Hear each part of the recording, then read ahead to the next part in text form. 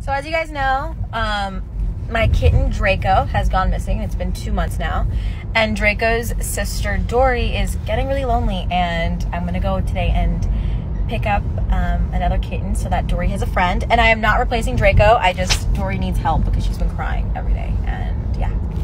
And this one offered to drive me. I didn't. And she just told me I'm driving her. Yeah. We are en route. It should be an hour and 10 minutes approximately to get there. I'll get us there in 35. Uh oh. Eight minutes. On a scale of 1 to 10, how excited are we? A thousand! Oh, that's good. that's good. Guys, I want you to meet. Mm, hi. I want you to meet Nemo.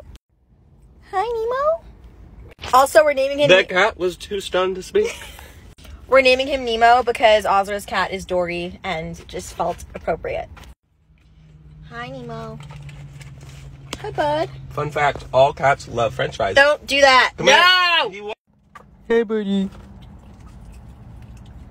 Oh, Hey. Muffy. Hey, buddy. I Hey, hope you buddy. find your dad. You guys, I'm actually in love. Look at this little muffin. No, like you guys don't understand. She don't hasn't understand. spoke to me for the past 10 minutes. I haven't.